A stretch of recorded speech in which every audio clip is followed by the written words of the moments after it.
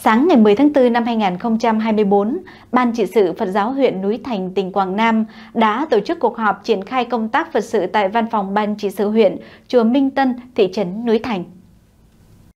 Phát biểu khai mạc, Đại Đức Thích Hạnh Thông, Ủy viên Ban trị sự Phật giáo tỉnh, trưởng ban trị sự, kiêm trưởng ban tăng sự Phật giáo huyện Núi Thành, chủ tọa, bày tỏ sự vui mừng trước những thành tựu mà giáo hội huyện Núi Thành đã đạt được trong thời gian qua –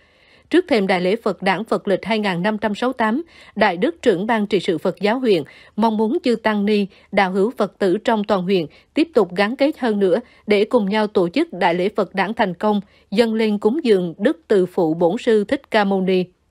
Tiếp đến, Đại Đức Thích Đồng Nhiên, Chánh Thư ký Ban trị sự Phật giáo huyện, thông qua thông tư số 88 về việc hướng dẫn tổ chức Đại lễ Phật đảng Phật lịch 2568 của Hội đồng trị sự Giáo hội Phật giáo Việt Nam và kế hoạch tổ chức Đại lễ Phật đảng của Ban trị sự Giáo hội Phật giáo Việt Nam tỉnh Quảng Nam, bản dự thảo phương hướng tổ chức Đại lễ Phật đảng của huyện Núi Thành.